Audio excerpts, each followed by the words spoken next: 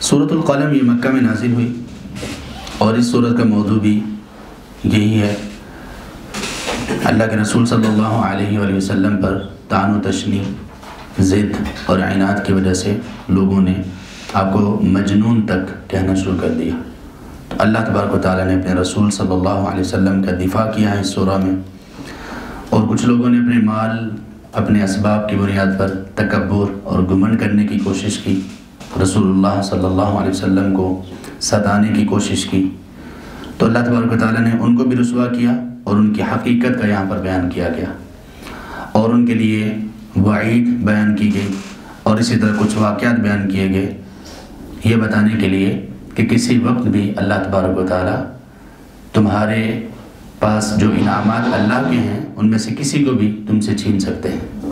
اسی طرح اس سورہ میں اللہ تبارک و تعالیٰ نے انسانوں کو سمجھانے کے لیے یہ بھی کہا کہ مسلمان اور مجرم یہ کبھی برابر نہیں ہو سکتے۔ یہ دو اقسام اور دو چیزیں ہیں جن میں بعد المشرقین ہے۔ جیسے مشرق اور مغرب کے درمیان فاصلہ ہے، اسی طرح ایک مسلم اور ایک کافر کے درمیان اور ایک آدمی جو کہ ہر جرم سے پاک ہے اور دوسرا وہ آدمی جو جرم کرنے والا ہے، ایسے ہی دونوں کے درمیان فاصلہ ہے۔ اور اسی طرح قیامت کا بھی اس میں تذکرہ کیا گیا۔ اور وہ لوگ جو اللہ کی اطاعت اور فرما برداری سے آج انکار کرتے ہیں، تو کل وہ اللہ کی فرما برداری اور اللہ کی اطاعت کرنا چاہیں گے، لیکن اس وقت ان کے پاس وقت نہیں ہوگا۔ اس سورہ کی ابتدا اللہ تبارک و تعالیٰ نے حروف مقطعات سے کی۔ یہ وہ حروف ہیں کہ جن کو اللہ تبارک و تعالیٰ نے ایک چیلنج کے طور پر مشرقین مکہ کے سامنے رکھا اور عرب لوگوں کے سامنے۔ کہ تم لوگوں کو اپنی عربی پر بہت زیادہ گمنڈ اور غرور ہے، تو ان کا معنی بتاؤ۔ تو ان کا معنی اللہ تبارک و تعالیٰ نے کسی کو بھی نہیں بتایا۔ ایک چیلنج رکھا جو ہمیشہ چیلنج ہی رہے گا۔ تو اس لیے اس کا معنی کیا جاتا ہے؟ یہ حروف مقطعات ہیں اور ان کا معنی اللہ ہی بہتر جانتے ہیں۔ والقلم وما یسترون قلم کی قسم۔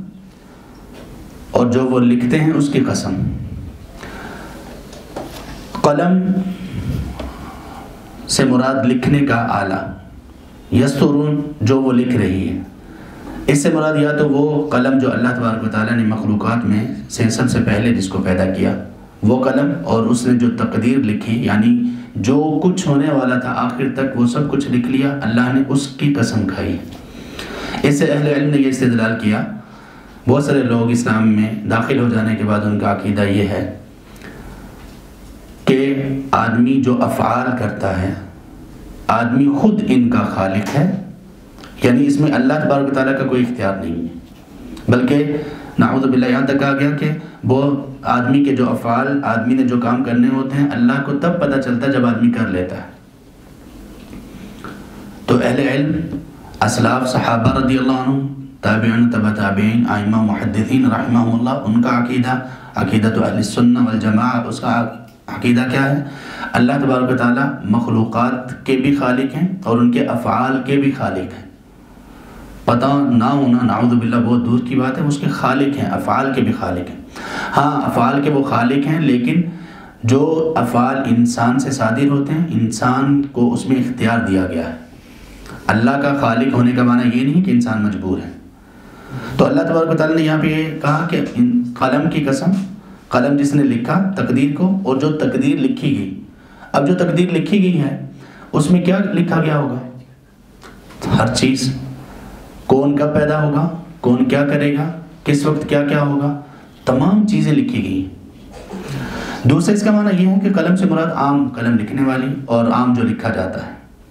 تو قلم اور جو لکھا جاتا ہے، اس کی قسم کیوں اٹھائے گی اس لیے تاکہ پڑھنے، لکھنے اور علم حاصل کرنے اور اس کی اہمیت کا اندازہ ہو۔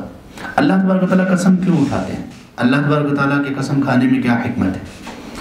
اور پھر اللہ تبارک و تعالیٰ مخلوقات کی قسم اٹھاتے ہیں۔ جبکہ مخلوقات کو یہ کہا گیا کہ اللہ کے علاوہ کوئی کسی اور کی قسم کھائے گا تو وہ مشرق شرک کرے گا۔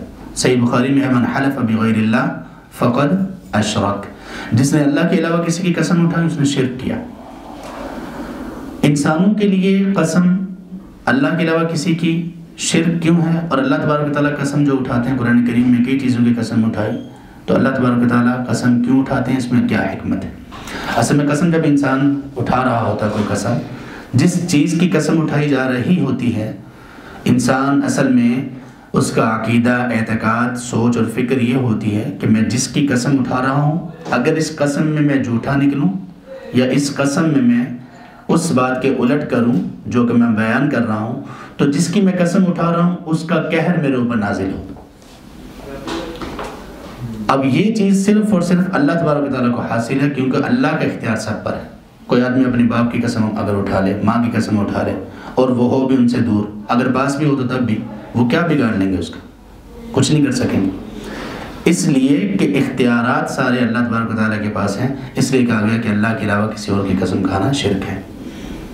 اسی قرآن کی قسم اس لیے اٹھائی جا سکتی ہے کہ قرآن اللہ کی صفت ہے۔ قرآن اللہ کا کلام ہے اور اللہ کی صفت ہے۔ اللہ کی صفات کی قسم اٹھائی جا سکتی۔ اللہ کی رحمت کی قسم۔ تو اللہ تبارک و تعالیٰ قرآن، کلام، اس کا صفت، اس کا ہونا اللہ تبارک و تعالیٰ کی۔ تو اس اعتبار سے اہل علم نے اس کے متعلق یہ کہا کہ اس کی قسم اٹھائی جا سکتی ہے، یہ مخلوق نہیں ہے۔ مخلوق میں سے کسی کی بھی قسم اٹھانا یہ شرک ہے۔ اللہ تبارک و تعالیٰ قسم کیوں اٹھاتے ہیں؟ دو چیزیں ہوتی ہیں۔ دو حکمتیں اور دو مقاصد ہیں۔ ایک یہ کہ جس چیز کی قسم اٹھائی جا رہی ہے، اس چیز کی اہمیت کو بیان کرنا۔ اور دوسرا مقصد یہ ہے کہ جس جو قسم اٹھانے کے بعد جو کچھ کہا جانے والا ہے، اس چیز کی اہمیت کو اجاگر کرنا۔ اب یہاں پر دونوں مقاصد کیسے حل ہوئے؟ اللہ تبارک تعالیٰ نے قلم اور جو کچھ لکھا، جو کچھ وہ لکھتے ہیں یا قلم نے جو کچھ لکھا، اس کی قسم اٹھائی۔ اس کا کیا مطلب؟ کہ اللہ نے جو پیدا کیا اور جو اس قلم نے لکھا، تقدیر، اس کی اہمیت اجاگر کرنا مقصود ہے۔ اور اگر اس سے مراد عام قلم ہو، تو عام قلم علم علم کا حاصل کرنا، علم کو لکھنا، یہ ساری فضیلتیں اس میں سے معلوم ہو رہی ہیں۔ اس لیے علم یہ کہتے ہیں کہ علم یہ ایک شکار ہے، اس کو لکھنے کے ذریعے سے قید کر لو۔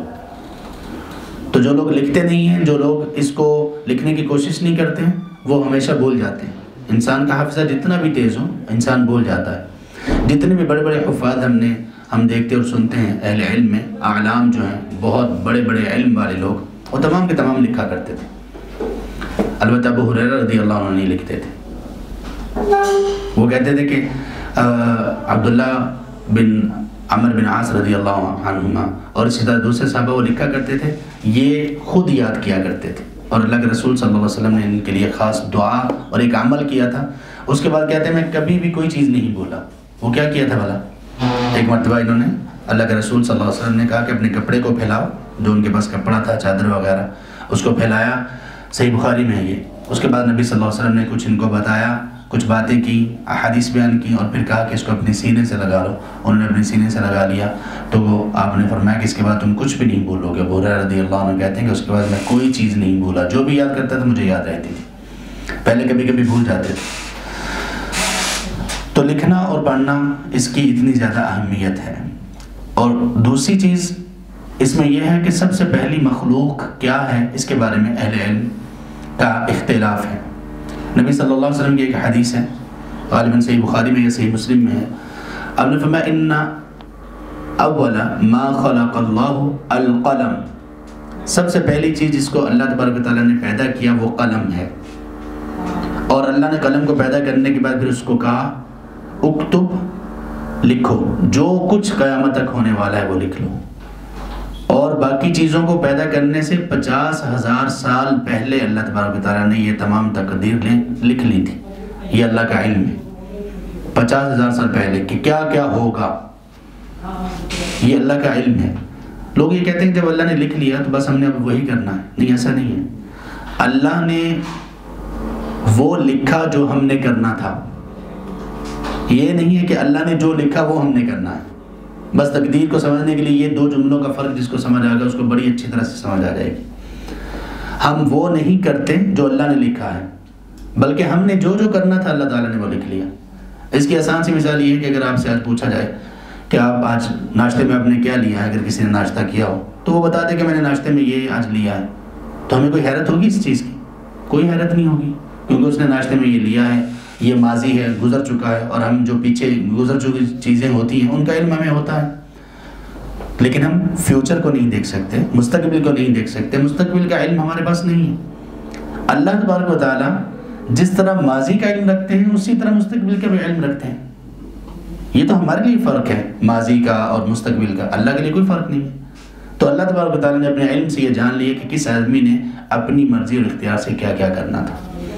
تو قلم کو اللہ تبارک تعالیٰ نے پہلے پیدا کیا اس حدیث کے مطابق۔ لیکن کچھ امام ابن جری تبری رحمہ اللہ تین سو دس میں فوتوں میں جن کی تفسیر تفسیر تبری ہے، جس کو ام ام ام التفاسیر کہا جاتا ہے۔ اس کے بعد جس شخص نے بھی تفسیر لکھی، وہ اس تفسیر سے مستغنی نہیں ہوا۔ یعنی اس تفسیر سے مدد لیے بغیر اس نے تفسیر نہیں لکھی۔ تفسیر ابن کثیر ہے۔ وہ ان کے بہت سالوں کے بعد، بہت سو سالوں کے بعد آئے۔ تین سو دس میں ان کی وفات ہے، امام ابن کثیر رحمہ اللہ سات سو چوہتر ہجری میں فوتوں میں انہوں نے تفسیر جو لکھی، اس میں بھی جا بجا، جگہ جگہ، ہر صفحے پہ، دوسرے صفحے پہ آپ کو امام تبری رحمہ اللہ کی تفسیر سے حوالہ جات ملیں گے۔ ان کا یہی موقف ہے کہ سب سے پہلی جو مخلوق ہے وہ قلم ہے۔ لیکن شیخ الاسلام ابن تیمیہ رحمہ اللہ، امام ابن قیم رحمہ اللہ، موجودہ دور میں شیخ ابن سیمین رحمہ اللہ وغیرہ، ان کا یہ موقف ہے کہ قلم سے پہلے اللہ تبارک و تعالیٰ نے اپنے عرش کو پیدا کیا۔ اس کی اب کیا دلیل ہے؟ اس کی دلیل یہ ہے کہ صحیح مسلم وغیرہ میں حدیث ہیں، اللہ تبارک و تعالیٰ نے، اللہ کے رسول صلی اللہ علیہ وسلم نے جب یہ بتایا کہ اللہ تبارک و تعالیٰ نے قلم کو پیدا کیا، تو حدیث میں یہ بھی کہا کہ اس وقت اللہ تبارک و تعالیٰ کا عرش پانی پر تھا۔ یہ اس حدیث میں ہے۔ جب اللہ نے قلم کو پیدا کیا، تو اللہ تبارک و تعالیٰ کا عرش تھا اللہ تبارک تعالیٰ اس پر مستوی تھے تو اس سے کیا معلوم ہوا کہ قلم کو پیدا کرنے سے پہلے بھی کچھ تھا؟ اور وہ چیز کیا تھی؟ عرش تھا۔ عرش تھا اور وہ پانی پر تھا۔ عرش پانی پر تھا۔ اس سے کچھ اہل علم نے یہ استدلال کیا ہے کہ پانی سب سے پہلے پیدا کیا گیا۔ تو زیادہ راجع جو موقف معلوم ہوتا ہے وہ یہی معلوم ہوتا ہے کہ سب سے پہلے اللہ تبارک تعالیٰ نے عرش کو پیدا کیا۔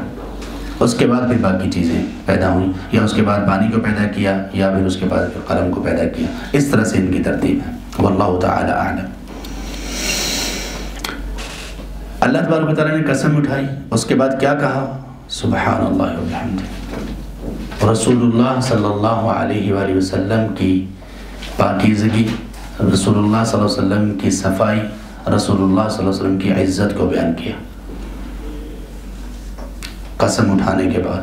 اس سے یہ پتہ چلا کہ اللہ کے نزدیک رسول کریم صلی اللہ علیہ وسلم کی عزت کس قدر گراں اور کس قدر بڑی چیز ہے۔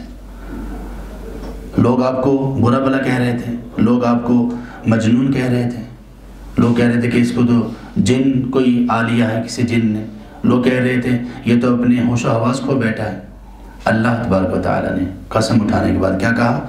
ما انت بنعمت ربک بمجنون۔ آپ اپنے رب کی نعمت کے ساتھ مجنون نہیں ہیں۔ یہ اللہ کی نعمت ہے آپ پر۔ کون سی نعمت؟ اللہ نے آپ کو رسول بنایا۔ صرف رسول ہی نہیں، رسولوں کا امام بنایا۔ تو اللہ کی یہ نعمت آپ پر ہوئی تو آپ مجنون نہیں ہیں۔ سبحان اللہ کیا کہنا ہوگا اس شخص کا کہ جس کی صفائی اللہ پیش کرے؟ جس کو کلیئر قرار دیں کون؟ اللہ تبارک تعالیٰ۔ دنیا کی کوئی عدالت نہیں۔ سیدہ عائشہ رضی اللہ عنہ جب ان پر تہمت لگی برائی کی، تو وہ اتنی پریشان تھی اتنا رو رہی تھی تین دن تک تو ان کے آنسو کہتی میری نہیں تھمے۔ رات دن۔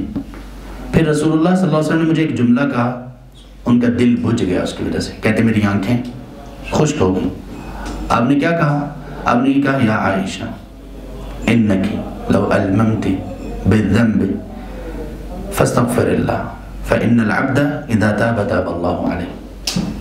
کہ عائشہ، دیکھو، اگر تم سے کوئی گناہ ہوا ہے، تو اللہ سے معافی مانگ لو۔ جب بندہ اللہ سے توبہ کرتا ہے، تو اللہ بھی بندے کی طرف رجوع کر لیتا یہ تو نبی صلی اللہ علیہ وسلم کی انصاف کی انتہا تھی نا۔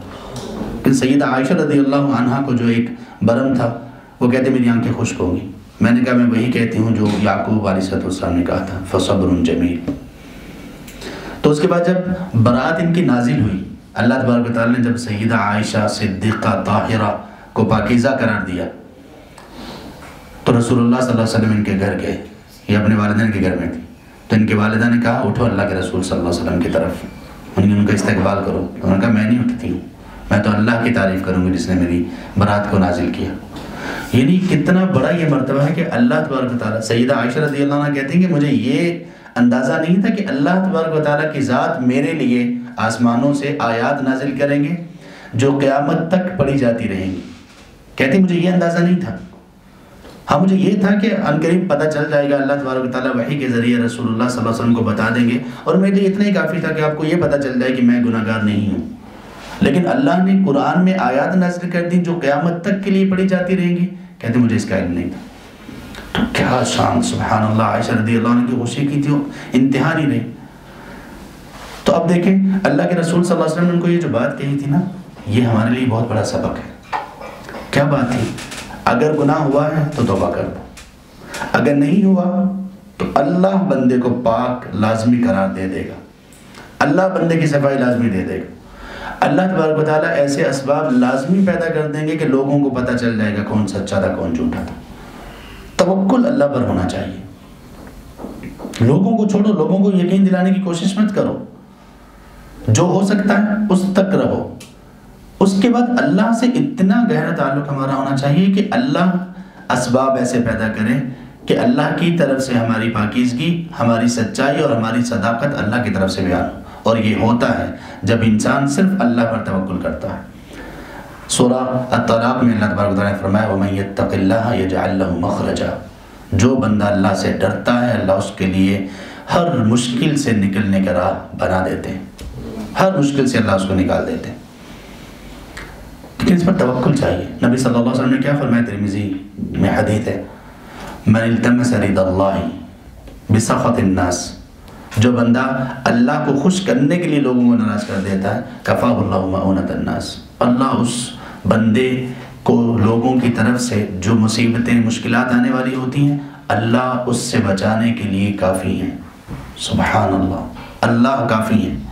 اور جس بندے نے اللہ کو ناراض کر لیا، لوگوں کو خوش کرنے کی وجہ سے وہ کلام اللہ الناس۔ اللہ اس کو لوگوں کے رحم و کرم پر ڈال دیتے ہیں، لوگوں کے قدموں میں ڈال دیتے ہیں۔ لوگ اس کو خوب رگے دیتے ہیں، لوگ اس کو خوب ایسے ایک فٹ بال بنا لیتے ہیں۔ کوئی ادھر سے مار رہا ہے، کوئی ادھر سے ٹھوکر مار رہا ہے۔ کہ تم نے اللہ کو چھوڑ کر لوگوں کو راضی کرنا چاہتا ہے کیا مطلب ہے اس کا؟ لوگ کبھی راضی نہیں ہوتے۔ اللہ کو راضی کریں۔ تو جب اللہ راضی ہو جائیں گے تو اللہ پھر سب کو راضی کر دیں گے۔ اللہ تبارک تعالیٰ اپنے رسول سے کیا کہہ رہے ہیں؟ آپ اپنے رب کی نعمت کے ساتھ مجنون نہیں ہیں۔ اس میں ایک اور سبق ہمارے لیے۔ اگر ہمیں کوئی صلاحیت ہے تو وہ کس کی طرف سے ہے؟ اللہ کی طرف سے۔ اللہ کی نعمت۔ اللہ تعالیٰ نے یہاں پہ یہ سبق دیا کہ اگر کسی اچھی بات جو آپ میں پیدا ہو گئی ہے، کوئی خصوصیت، کوئی خوبی، کوئی کامیابی، تو یہ کس کی نعمت ہے؟ اللہ کی نعمت ہے۔ مومن فاسق اور کافر میں یہ فرق ہے۔ مومن اپنی ہر صلاحیت کو اللہ کے ساتھ جوڑتا ہے۔ اس کو اللہ کا احسان، اللہ کی نعمت قرار دیتا ہے۔ جبکہ منافق، فاسق اور کافر کیا کہتا ہے؟ وہ اپنے آپ میں بڑا بننے کی کوشش کرتا ہے۔ جیسے قانون نے کہا تھا، سورہ قصص کیا چھہتر سے اللہ اللہ تعالیٰ نے اس کا واقعہ ذکر کیا۔ اس نے کیا کہا تھا؟ لوگوں نے کہا، احسن کما احسن اللہ علیک جس اللہ نے یہاں پر اتنے احسانات کیے، آپ بھی نیکی کرو، احسان کرو لوگوں کے ساتھ۔ تو اس نے کیا کہا؟ انما اوتیتہ علی علم عندی۔ جو مجھے دیا گیا، وہ تو میرا ہنر تھا۔ وہ تو میرا علم ہے۔ رات دن کی میری کمائی ہے۔ میرا خون اور میرا خون اور میرے پسینے کی کمائی ہے۔ اللہ ایسی باتوں کو پسند نہیں کرتے۔ اللہ تبارک و تعالیٰ نے اپنے رسول صلی اللہ علیہ وسلم کو کہا کہ آپ اللہ کی اللہ تبارک و تعالیٰ کی نعمت اور اس کے احسان کے ساتھ آپ مجنون نہیں ہوئی شیخ عبد الکریم الخدیر حفظ اللہ یہ بہت کبار آئمہ اور علماء میں سے ہیں، موجودہ دور کے، سعودیہ میں ہوتے ہیں۔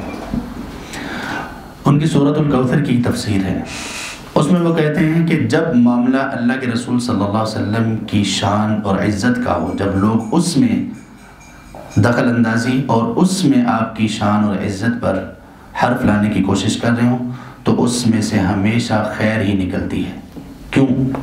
انہوں نے پھر دلیل کے طور پر سورہ النور کی وہ ابتدائی آیات جو سیدہ عائشہ رضی اللہ عنہ کی برات میں نازنی اس کو پیش کیا۔ لا تحسبوه شر لکم بل هو خیر لکم۔ اللہ نے فرمایا یہ جو الزام لگا ہے نبی صلی اللہ علیہ وسلم کی بیوی پر، آپ کی عزت پر عزت پر اگر کوئی بات ہوئی ہے تو یہ جان سے کہیں بڑھ کر ہے۔ عزت جان سے کہیں زیادہ پیاری ہوتی ہے انسان کو۔ لیکن اللہ نے فرمایا کہ یہ جو ہوا ہے، یہ واقعہ یہ واقعہ عفق، اس کو اپنے لیے برا خیال نہ کرو۔ یہ اللہ کی طرف سے تمہارے لیے بلائی ہوگی اس میں۔ ہمیشہ جب بھی لوگ اللہ کے رسول صلی اللہ علیہ وسلم کی گستاخی کرنے کی کوشش کرتے ہیں، اللہ نے ہمیشہ خیر نکالی اور خیر نکالیں گے۔ بلکہ ان لوگوں کا ملحدوں کا تو شکریہ ادا کرنا چاہیے۔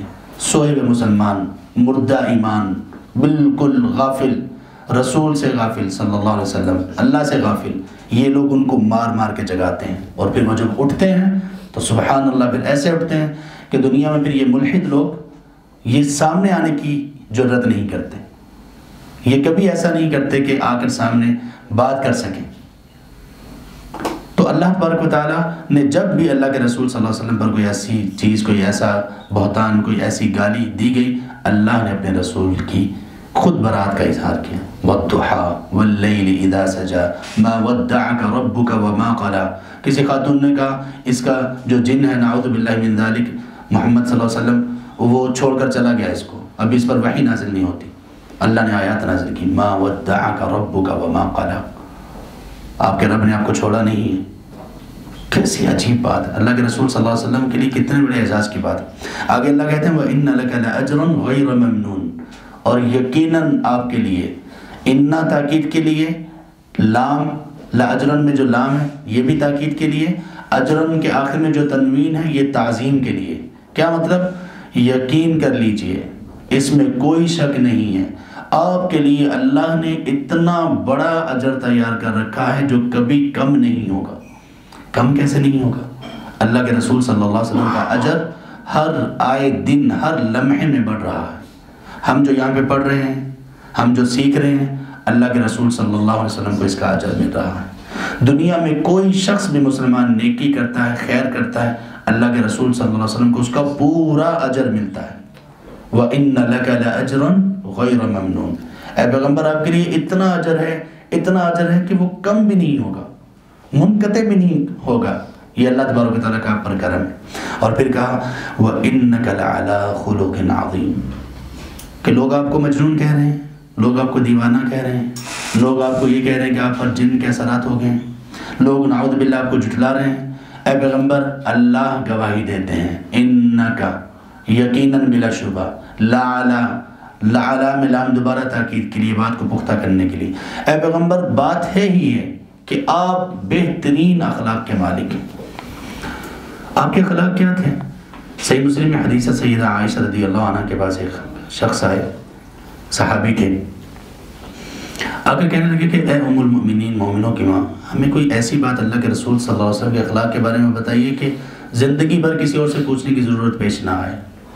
تو کہنے لگی، یا بنیا، میرے بیٹے، آپ نے قرآن نہیں پڑھا؟ کانا خلق القرآن۔ نبی صلی اللہ علیہ وسلم کا اخلاق کیا تھا؟ قرآن تھا۔ اخلاق کا کیا معنی؟ عادات۔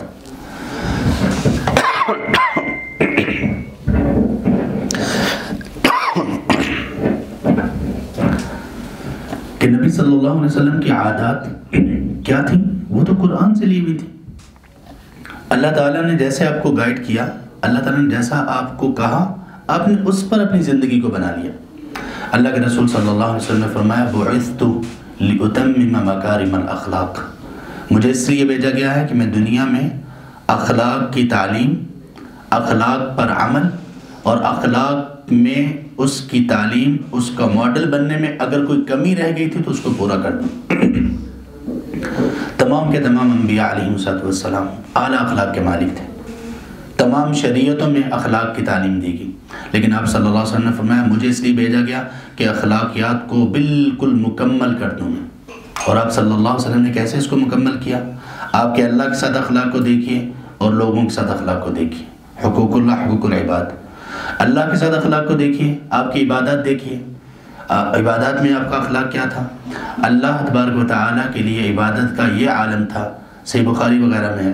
آپ صلی اللہ علیہ وسلم رات کو کھڑے ہوتے اللہ تبارک تعالیٰ کے لیے، اللہ کی عبادت کے لیے، قیام کے لیے، اور اتنا کھڑے رہتے، اتنا کھڑے رہتے، آپ کا معمول تھا۔ غالباً سیدہ سید حدیفہ رضی اللہ عنہ اور عبداللہ بن مسعود رضی اللہ عنہ، صحیح مسلم میں۔ یہ دونوں نے مختلف اوقات میں نبی صلی اللہ علیہ وسلم کے ساتھ تحجد کی نماز پڑھی۔ دونوں یہ کہتے ہیں کہ پہلی صرف پہلی رکعت میں نبی صلی اللہ علیہ وسلم نے سورہ البقرہ، سورہ النساء اور سورہ آل عمران کی تلاوت کی۔ تقریباً ساڑھے پانچ پارے ایک ایک رکعت میں۔ یہاں تک کہ آپ کے قدم سوج جایا کرتے تھے، ورم آ جایا کرتا تھا۔ اور پھر یہ عبادت کر کے آپ متکبر نہیں ہوئے۔ اس عبادت کے باوجود بھی آپ کا اخلاق کیا تھا؟ آپ سے پوچھا گیا، اللہ کے رسول، کیا ایسا نہیں ہے کہ آپ کے سارے گناہوں کو اللہ نے معاف کر دیا؟ ہے کہا، ایسا ہی ہے۔ لیکن افلا اکون عبدا شکورا؟ جس اللہ نے میرے اوپر اتنا احسان کیا تو کیا میں اس اللہ کے لیے اس کا شکر گزار بندہ نہ بنوں؟ کہ جس اللہ نے مجھے اتنا نواز دیا تو میں اس کا شکر ادا نہ کروں۔ یہ آپ صلی اللہ علیہ وسلم کا شکر تھا۔ آپ عبادات میں سب سے بڑھ کر تھے۔ آپ کی عمر ساٹھ سال سے تجاوز کر چکی تھی۔ تب آپ کی، تب بھی آپ کی یہی حالت تھی۔ تب بھی آپ اسی طرح عبادت کیا کرتے تھے۔ اور اس سے پہلے آپ کی عبادت کیسے تھی؟ اللہ تبارک تعالیٰ اپنے رسول سے کہتے ہیں، یا ایوہ المزمل، قم اللیل الا قلیلا۔ اے چادر اڑنے والے، پوری رات قیامت کیا کرو۔ پوری رات قیامت کیا کرو۔ تھوڑا قیام کیا کرو۔ قم اللیل الا قلیلا۔ پہلے یہ کہا گیا کہ رات کو آپ کھڑے رہو، تھوڑی دیر سویا کرو۔ اس کے بعد آخری آیات میں یہ کہا گیا کہ آپ کو اور بھی کام ہوتے ہیں۔ تو آپ آدھی رات یا آدھی رات سے تھوڑا کم کر دو قیام۔ اللہ تبارک و تعالیٰ نے رسول صلی اللہ علیہ وسلم سے کہہ کر کم کروایا۔ یہ تو تھا آپ کا اللہ کے ساتھ آپ کے اخلاق۔ لوگوں کے ساتھ آپ کے اخلاق کیسے تھے؟ سبحان اللہ آپ کیا کہیں گے ایسے شخص کو کہ جس نے زندگی میں جب آنکھ کھولی تو باپ کا سایہ نہیں تھا سر؟ اصل میں لوگوں کو پتہ نہیں کہ محمد صلی اللہ علیہ وسلم ہیں کون۔ لوگ جو گستاخی کرنے والے ہوتے ہیں، ان کو پہچان کروائیے محمد صلی اللہ علیہ وسلم کی۔ اللہ تعالیٰ لوگوں کو یہاں پہ یہی بتا رہے ہیں، وَإِنَّكَ لَعَلَىٰ خُلُقٍ عَظِيمٍ۔ اے پیغمبر، آپ انتہا درجے کے بہترین اخلاق پر۔ یہ کون سے اخلاق تھے جس کی گواہی دشمن بھی دیا کرتے تھے؟ اللہ کے رسول صلی اللہ علیہ وسلم لوگوں کے ساتھ کیسے تھے؟ لوگوں میں سے وہ لوگ جو آپ کے گھر والے تھے، لوگوں میں سے وہ لوگ جو آپ کے دوست، آپ کے ساتھی اور آپ کے اصحاب تھے، لوگوں میں سے وہ لوگ جو آپ کے دشمن تھے۔ آپ کے اخلاق کیسے تھے اپنے گھر والوں کے ساتھ؟ کا نفی خدمت اہلی، اپنے گھر والوں کی خدمت میں رہا کرتے تھے۔ ان کے ساتھ بہت نرم مزاج سے پیش آیا کرتے تھے۔ درگزر کیا کرتے تھے۔ ہنسی مذاق کیا کرتے تھے۔ گھر والوں کے ساتھ مل کر، گھر کا کھانا بنانا، گھر کے کام کاج کروانا، یہ سب کچھ کیا کرتے تھے۔ ان کے ساتھ مدعبت کیا کرتے تھے۔ گھر والوں کے ساتھ یہ معاملہ تھا۔ تمام کے حقوق پورے کیا کرتے تھے۔ کوئی ایسی بیوی، کوئی ایسا نہیں تھا جو یہ شکایت کرے کہ میرے حقوق پورے نہیں کر رہے، اللہ کے رسول صلی اللہ علیہ وسلم۔ تقسیم میں کوئی مسئلہ کر رہے۔ ہیں ہر روز آپ کسی ایک بیوی کے گھر میں تمام بیویوں کو جمع کیا کرتے تھے۔ آپس میں ان کی تربیت، آپس میں ان کا رہن سہن، آپ کا ہر شخص کے ساتھ رہن سہن۔ کتنا بہترین، کتنا اعلیٰ تھا۔ باقی عزیز و اقارب کے ساتھ سیلا رحمی کرنا۔ لوگ توڑتے تھے، آپ جوڑتے تھے۔ لوگ دور جاتے تھے، آپ قریب کرتے تھے۔ لوگ تکلیف پہنچاتے تھے۔ رشتہ دار، آپ ان کے ساتھ نیکی اور احسان کرتے تھے۔ اپنے اصحاب کے ساتھ کیسے تھے؟ اصحاب میں سے کچھ وہ لوگ کہ جن کے آپ پر احسان تھے۔ نبی صلی اللہ علیہ وسلم نے فرمایا کہ میں نے زندگی میں ہر شخص کے احسان کا بدلہ چکا دیا، لیکن اگر کسی کے احسانات کا میں بدلہ نہیں دے سکا تو وہ کون ہے؟ سیدنا ابو بکر رضی اللہ تعالیٰ اس قدر احسان کو ماننے والے تھے نبی صلی اللہ علیہ وسلم۔ احسان فراموش نہیں تھے۔ لوگوں سے کہا کرتے تھے کہ اگر کسی شخص نے مجھ سے اگر کوئی چیز، اگر کسی کو کوئی رہتی مجھ سے کوئی لینا چاہتا ہے، وہ لے لے، میں اس کے لیے حاضر ہوں، تیار ہوں۔ آپ صلی اللہ علیہ وسلم اپنے عزیز و اقارب، رشتہ دار سب کے ساتھ بہترین تھے۔ اپنے اصحاب کے ساتھ کیسے تھے؟ اپنے اصحاب میں یوں بیٹھتے تھے کہ پتہ نہیں چلتا تھا کہ یہ بہت ان میں بلند شخص اور یہ کوئی ان کا ذمہ دار، یہ کوئی ان کا حاکم، کوئی لیڈر ہے۔ گل مل جایا کرتے تھے۔ جو عمارات ہیں ان کے ساتھ بھی بہترین اخلاق سے پیش آتے۔ غربا اور فقراء کے ساتھ اخلاق کے کیا کہنے۔ آپ وسلم کہا کرتے تھے، مجھے اگر تلاش کرنا ہو تو زعفا میں تلاش کیا کرو غربا میں دیکھا کرو۔ اگر کسی جگہ پہ تو مجھے دیکھنے کے لیے آئے اور نہیں مل رہا ہوں تو ان لوگوں کے پاس جایا کرو جن کے پاس کچھ نہیں۔ کتنی غم گساری کرنے والے تھے۔ کس قدر بہترین تھے۔ یہ وہ آپ کے اصحاب تھے جو آپ کے ساتھی تھے۔ لیکن وہ آپ کے اصحاب جو آپ کے خدمت میں تھے۔ انس ابن مالک رضی اللہ تعالی عنہ۔ کیا کہتے ہیں وہ؟ کہتے ہیں میں نے اللہ کے رسول صلی اللہ علیہ وسلم کی کتنے سال خدمت کی؟ دس سال۔ ما قال لی آپ صلی اللہ علیہ وسلم نے کبھی مجھے نہیں ڈانٹا۔ دس سال کبھی مجھے نہیں ڈانٹا۔ کبھی مجھے یہ نہیں کہا کہ آپ نے یہ کیوں نہیں کیا۔ کبھی مجھے یہ بھی نہیں کہا کہ آپ نے یہ کیوں کیا۔ یہ تھا اللہ کے رسول صلی اللہ علیہ وسلم کا چھوٹوں بڑوں کے ساتھ۔ بچوں کے ساتھ مداوت کیسی تھی آپ صلی اللہ علیہ وسلم؟ کی آپ کی عادات، آپ کے اخلاق کی بات ہو رہی ہے نا؟ بچوں کے ساتھ کیسے کیا کرتے تھے؟ چھوٹے چھوٹے بچے آپ کی انگلی پکڑتے جہاں چاہتے لے جاتے ہیں۔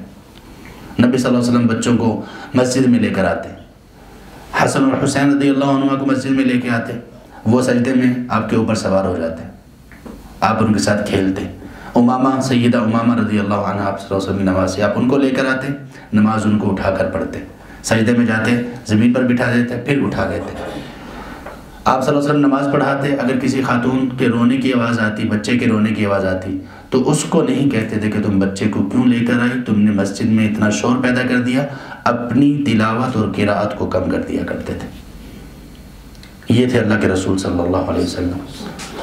بچوں کے ساتھ جتنے، جب آپ کہیں باہر سے آتے، بچوں کے ساتھ پہلے شغل فرماتے، بچوں کو گلے سے لگاتے، ان کو پیار کرتے، یہ آپ صلی اللہ علیہ وسلم کا مزاج تھا بچوں کے ساتھ۔ اور دشمنوں کے ساتھ مزاج کیسا تھا آپ صلی اللہ علیہ وسلم کا؟ سبحان اللہ بحمدہ مکہ فتح ہوا، سامنے وہ سارے لوگ کھڑے ہیں جو تکلیف پہنچاتے تھے، جو دعوت کو روکنے کی کوشش کرتے تھے، جو اس قدر زیادہ شدت کے ساتھ پیش آتے تھے، سختی کے ساتھ کہ رسول اللہ صلی اللہ علیہ وسلم اللہ کے سامنے روتے اور گڑ گڑایا کرتے تھے۔ ان کے لیے آپ صلی اللہ علیہ وسلم نے کہا کہ میرا وہی اعلان ہے جو یوسف علیہ السلام نے اپنے بھائیوں کے لیے کیا تھا۔ لا تثریب علیکم اليوم۔ کہ آپ پر کوئی گناہ نہیں ہے۔ ابو سفیان کے گھر میں جو بھی بندہ داخل ہو گیا، عام معافی ہے۔ خانہ کعبہ میں جو بھی بندہ آ گیا، عام معافی ہے۔ کچھ اور گھر بھی اسی طرح بتائے۔ ہاں جن کے بارے میں اللہ نے نہیں چاہا، اللہ نے بتایا جن کے بارے میں، جن کے جرم بہت ہی بلند تھے۔ اور ایسی قسم کے تھے کہ جس میں ان کی بہت شر تھی۔ ان کے علاوہ آپ صلی اللہ علیہ وسلم نے عام معافی کا اعلان کر دیا۔ آپ دشمنوں کے ساتھ ایسے تھے۔ اپنے صحابہ میں ایک دفعہ کہا کہ جس نے اگر مجھ سے کوئی بدلہ لینا ہے تو وہ مجھ سے بدلہ لے لے، میں اس کے لیے تیار ہوں۔ تو ایک صحابی نے کہا کہ اللہ کے رسول صلی اللہ علیہ وسلم، آپ نے مجھے ایک مرتبہ لاٹھی ماری تھی۔ تو آپ صلی اللہ علیہ وسلم نے کہا کہ میں تیار ہوں۔ آپ نے یہ نہیں کہا کب؟ مجھے تو یاد نہیں ہے۔ تیار ہو گیا۔ آپ صلی اللہ علیہ وسلم لوگوں سے بدلہ نہیں لیا کرتے تھے۔ جب اللہ کی بات ہوتی تو تب آپ انتقام لیتے تھے۔ اپنی ذات کے لیے آپ صلی اللہ علیہ وسلم نے کبھی کسی سے انتقام نہیں لیا۔ کون ہے محمد صلی اللہ علیہ وسلم؟ کس کو کہا جا رہا ہے کہ آپ کے اخلاق اتنے بلند تھے کون آپ کو ملے گا جو اتنے بلند اخلاق کا مالک ہوگا؟ آپ کو بادشاہ ہونے کی حیثیت سے دیکھیے۔ کیسے بادشاہ تھے؟ آپ کے گھر میں کوئی چارپائی نہیں تھی۔ آپ کے گھر میں کوئی میٹرس نہیں تھا۔ آپ کھجور کی چٹائی پہ سوتے، اس کے نشانات پڑ جاتے تھے۔ صحابہ کہتے تھے، اللہ کے رسول ہمیں اجازت دیجیے ہم کم از کم آپ کے لیے ایک میٹرس ایک گدہ ہی تیار کر دیں۔ کہا کرتے تھے کہ میری مثال اس دنیا میں تو ایسے ہے، کوئی آدمی سفر پر نکلا اور سفر پر جاتے ہوئے اس نے درمیان میں ایک سائے دار درخت دیکھا، اس کے نیچے کچھ دیر اس نے ٹھہرنا، پھر اس نے چلنا۔ تو کیسے میں یہ گدے بناتا پھر رہوں کیسے میں ان چیزوں میں آ جاؤں؟ بادشاہ آپ کیسے تھے؟ انصاف کی جب بات آتی تو کیا تھا؟ ایک بنو مخزوم قبیلہ کی خاتون کا کیس آیا، چوری کی تھی۔ آپ نے کہا کہ ہاتھ کاٹا جائے گا۔ لوگوں نے سفارش تلاش کر لی، اسامہ رضی اللہ عنہ، کہ اللہ کے رسول صلی اللہ علیہ وسلم کے بڑے لاڈلے ہیں آپ صلی اللہ علیہ وسلم نے کیا فرمایا جب انہوں نے سفارش کی؟ غصے سے آپ کا چہرہ سرخ ہو گیا اور فرمایا کہ تم سے پہلے امتوں کو ہلاک اس چیز نے کیا۔ ہے جب ان میں کوئی آدمی، امیر آدمی جرم کرتا، اس کے لیے راہیں تلاش کر لی جاتی، معافی مل جاتی۔ غریب آدمی جرم کرتا، فوراً حد لگا دی جاتی۔ واللہ لو ان فاطمہ بنت محمد صلی اللہ علیہ وسلم، اگر محمد کی بیٹی بھی چوری کرتی تو محمد اس کا ہاتھ کاٹتے، محمد اس کا ہاتھ کاٹتے۔ بادشاہ تھے تو ایسے تھے۔ اللہ کے لیے انتقام لیتے تھے، اللہ کے حدود کے معاملے میں ایسے تھے۔ معاف کرنے کے معاملے میں سبحان اللہ آپ پر وہ وقت بھی گزرا جب آپ مکہ سے تنگ آ کر مارے کھا کھا کر کہاں پر گئے؟ طائف میں۔ اور طائف میں جو آپ کے ساتھ ہوا، وہ کیا تھا؟ کوئی اتنی بڑی چیز نہیں تھی۔ آپ کو پتھر مارے گئے، آپ کا خون آپ کے سر سے جاری ہوا آپ کے پاؤں میں آ گیا۔ یہ کوئی اتنی بڑی چیز نہیں تھی۔ لیکن اللہ کے رسول صلی اللہ علیہ وسلم بہت رو رہے تھے۔ آپ نے اس موقع پر جو دعا کی، وہ عجیب دعا ہے رلا دینے والی دعا ہے۔ اس موقع پر آپ کو مار کی درد نہیں تھی جو آپ کا دل ٹوٹا تھا، اس کا درد تھا۔ کہ وہ کتنے مان اور کتنے اعتماد کے ساتھ گئے تھے کہ شاید یہاں سے کچھ لوگ اللہ کے دین کے لیے نکل آئیں۔ فرشتے نے اگر کہا کہ اللہ کے رسول صلی اللہ علیہ وسلم اللہ کی طرف سے مجھے بھیجا گیا، آپ اگر کہیں تو یہ میں ان لوگوں کو پہاڑی ایریا ہے وہ طائف، ان پہاڑوں کے درمیان ان کو کچل کر رکھ دوں۔ اب نے فرمایا نہیں، مجھے امید ہے کہ اللہ ان کی نسلوں میں سے ایسے لوگ پیدا کریں گے جو اللہ کی وحدانیت کو ماننے والے ہوں گے۔ کون ہوگا ایسا شخص؟ نبی صلی اللہ علیہ وسلم، اس کے باوجود کہ آپ بادشاہ تھے، اس کے باوجود کہ آپ غریب تھے، اس کے باوجود کہ آپ کے پاس کپڑوں کی کمی تھی مال و دولت کی کمی تھی۔ اس کے باوجود لوگوں میں سب سے بڑھ کر سخی تھے آپ نے سنا کبھی ایسے شخص کو کہ جو غریب ہو لوگ کہتے ہوں کہ اس سے ایسا کوئی سخی نہیں اللہ کے رسول صلی اللہ علیہ وسلم کیا تھے؟ آپ کے پاس کچھ نہیں تھا۔ لیکن جب آتا تھا تو لوگوں میں یہ بات مشہور تھی کہ محمد صلی اللہ علیہ وسلم فقر سے نہیں ڈرتے۔ جب آتا تھا تو ایک ایک گھر میں لوگوں کو تین تین سو اونٹ دیے جا رہے۔ ہیں کس میں پیدا کرو گے؟ کس میں دنیا کے کس فرد میں اتنی خصوصیات دکھاؤ گے؟ نبی صلی اللہ علیہ وسلم غریب تھے۔ اس کے باوجود حضرت انس رضی اللہ عنہ کہتے ہیں کہ نبی صلی اللہ علیہ وسلم، ما مسستو حریرن ولا دیباجن میں نے کوئی ریشم بھی ایسا نہیں دیکھا اور چھوا جو نبی صلی اللہ علیہ وسلم کے ہاتھوں سے نرم۔ وہ شخص جو غربت کی زندگی گزارا، اس سے کبھی کوئی بری سمیل نہیں آئی تھی۔ ہمیشہ آپ کی خوشبو سب سے اعلیٰ ہوتی تھی۔ ہمیشہ آپ سب سے بڑھ کر صاف ستھرے رہا کرتے تھے۔ اب صاف ستھرے رہنا، ہاتھوں کا نرم ہونا، اس کا کیا مطلب ہے کہ آپ کام نہیں کرتے تھے؟ نہیں، غزوہ خندق کے موقع پر آپ خود کدال چلا رہے ہیں۔ کچھ صحابہ ایک پتھر کو توڑنا چاہ رہے تھے۔ خندق ہوتے ہوئے پتھر وہ آ کر وہاں پر پھنس گیا۔ صحابہ زور لگا کر تھک گئے۔ اللہ کے رسول صلی اللہ علیہ وسلم نے تین کدال چلائے اور اس پتھر اور چٹان کو توڑ دیا۔ بہادری کی طرف اگر آپ آئیں، مدینہ کے لوگ ایک مرتبہ ڈر گئے کہ کہیں حملہ نہ ہو گیا ہو۔ وہ باہر نکلے، مدینہ سے باہر نکلے، جس طرف سے ان کو کچھ آوازیں آ رہی تھیں، تو پتہ چلا کہ رسول اللہ صلی اللہ علیہ وسلم اکیلے بغیر زین کے گھوڑے پر ننگی پیٹ پر سوار ادھر سے آ رہے تھے اور کہہ رہے تھے، میں پتہ کر کے آگے ہوں، کوئی نہیں ہے۔ اللہ کے رسول صلی اللہ علیہ وسلم کے صحابہ بڑے بہادر تھے۔ وہ کہا کرتے تھے؟ ہم جنگ میں اللہ کے رسول صلی اللہ علیہ وسلم کے قریب قریب رہا کرتے تھے۔ آپ کے قریب رہ کر ہم بچنے کی کوشش کیا کرتے تھے۔ آپ جنگ میں اس طرح آگے ہوا کرتے تھے۔ آپ صلی اللہ علیہ وسلم جب کھانے پینے کی باری آتی، سب لوگوں کو کس طرح سے شریک کر لیا کرتے تھے۔ سبحان اللہ، کس کس بات، کس کس اینگل سے آپ دیکھیں گے اللہ کے رسول صلی اللہ علیہ وسلم کی شخصیت کو؟ وہ ان نقل خلوق عبداللہ ابن ذریر البجلی رضی اللہ عنہ کہتے ہیں، صحیح بخاری میں کہتے ہیں، میں جب سے اسلام لایا ہوں، میں جب بھی اللہ کے رسول صلی اللہ علیہ وسلم سے ملا ہوں ابتسامہ آپ کو مسکراتے ہوئے دیکھا۔ یہ کون سا شخص اتنا مسکرا رہا ہے؟ یہ کون سے شخص کی تعریف اتنی ہو رہی ہے کہ آپ اتنی زیادہ خوش اخلاق تھے؟ یہ کون سا شخص ہے جس نے جب آنکھ اپنے گھر میں کھولی تو پتہ چلا باپ نہیں ہے؟ تھوڑی سی اور سنبھالی تو ماں کا سایہ بسر سے اٹھ گیا۔ اس کے بعد جو گارڈین تھے، جو سربراہ تھے وہ بھی اٹھ گئے۔ چچا بھی چلے گئے۔ آخر میں چچا بھی چلے گئے جو بہت زیادہ مددگار تھے۔ یہ وہ شخص تھے کہ جن کو اس پاداش میں کہ انہوں نے نبوت کا اعلان کیا تین سال تک لوگوں نے آپ کا بائی کاٹ کیا۔ شیب ابی طالب میں محصور رہے تین سال تک۔ اور کھانے پینے کی نوبت کہاں تک پہنچ چکی تھی؟ گھاس تک کھایا کرتے تھے۔ یہ مکہ کی بات ہے۔ مدینہ میں کہتے ہیں عمر رضی اللہ عنہ کہتے ہیں کہ میں دیکھتا تھا اللہ کے رسول صلی اللہ علیہ وسلم کو، آپ کے پاس کئی دن گزر جاتے تھے، دقل، ردی، کھجور بھی نہیں ہوتی تھی جس سے آپ اپنا پیٹ بھر سکیں۔ سیدہ عائشہ رضی اللہ عنہ کہا کرتی تھی، دو دو مہینے گزر جاتے ہیں، صحیح بخاری میں یہ۔ ہمارے گھر میں کھانے کے لیے کچھ نہیں ہوتا تھا، چولہا نہیں جلتا تھا، پانی اور کھجور پر گزارا ہوتا تھا۔ یہ وہ شخص تھے۔ یہ وہ شخص تھے کہ جن کی زندگی میں ان کے چھ بیٹے اور بیٹیاں فوت ہوئے۔ کون سے شخص ہیں جن کے بارے میں صاحب بھی کہہ رہے ہیں کہ میں جب بھی ملا ہوں اللہ کے رسول صلی اللہ علیہ وسلم کو مسکراتے دیکھا۔ جنہوں نے اپنی زندگی میں اپنے چھ بچے اور بچیوں کے جنازے اٹھائے۔ یہ کون سے شخص تھے کہ جن کو کبھی قتل کرنے کی کوشش کی گئی مکہ میں؟ کبھی ان کو زہر دیا گیا، کبھی ان پر جادو کیا گیا، کبھی آپ سجدے میں پڑے ہوئے ہیں، اوپر آ کر آپ کے اوجری کو ڈال دیا گیا۔ اس کے باوجود یہ شخص یہ کہا کرتے تھے، یعجبنی الفعل والکلمت الطیبہ. مجھے اچھا گمان اچھا شگون پسند ہے، مجھے اچھی بات پسند ہے۔ آپ دیکھیں کہ جس بندے کی زندگی میں اگر ہمارے ہاں کبھی ایسا ہو جائے کہ ہمارے گھر پہ ایک دفعہ صرف حملہ ہو جائے، اس بندے کو پوچھیں جس کی زندگی میں اس کی اولاد میں سے ایک یا دو فوت ہوئے۔ اس آدمی سے پوچھ کر دیکھیں جس پر قاتلانہ حملہ کبھی ہوا ہو اور اس میں سے بچ گیا ہو۔ اس سے پوچھ کر دیکھیں کہ جس کو زہر دیا گیا ہو۔ ہم تو ذرا سا دکھ اور پریشانی کیا آتی ہے ہمیشہ اس سے نکل نہیں پاتے روگ لگا لیتے ہیں۔ یہ وہ رسول تھے، یہ وہ محمد صلی اللہ علیہ وسلم تھے۔ اتنی ساری تکالیف کے باوجود بھی کیا کہا کرتے تھے کہ مجھے اچھی بات اچھا کلمہ اچھا شگون پسند ہے۔ مسکراہٹیں لوگوں کے لیے یہ تھی۔ لوگوں سے انتقام کبھی نہیں لیتے تھے۔ آپ صلی اللہ علیہ وسلم کے صحابہ کو شہید کر دیا گیا، ایک مہینہ تک اب اتنا روئے اتنا روئے کہ کبھی آپ کو اتنا روتے نہیں دیکھا گیا تھا۔ لیکن اس کے باوجود لوگوں کے ساتھ میل جول کا معاملہ کیسا تھا؟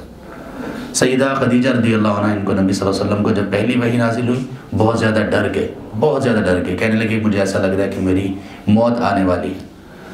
وہ ورقہ ابن نوفل ان کے پاس لے کر گئیں۔